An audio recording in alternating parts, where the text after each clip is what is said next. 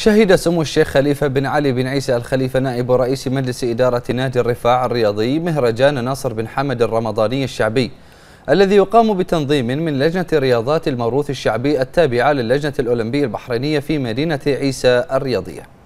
وزار سمو الشيخ خليفة بن علي بن عيسى الخليفة موقع المهرجان يرافقه سمو الشيخ سلمان بن محمد بن عيسى الخليفة حيث استمع سموهما إلى شرح مفصل عن منافسات الألعاب المختلفة سواء الشعبية أو الإلكترونية من قبل السيد محمد جناحي أمين سر لجنة رياضات الموروث الشعبي.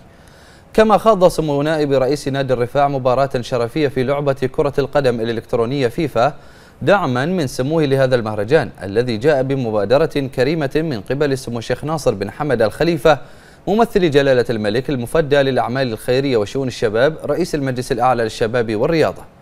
وبهذه المناسبة قال سمو الشيخ خليفة بن علي بن عيسى الخليفة إن هذا المهرجان الشعبي يساهم في تعزيز الرياضات الشعبية المعروفة عند المجتمع البحريني من خلال إقامة بطولات تنافسية لها مشيدا سموه بالتنظيم المميز للمهرجان والفعاليات المصاحبة الموجودة على هامش هذا المهرجان.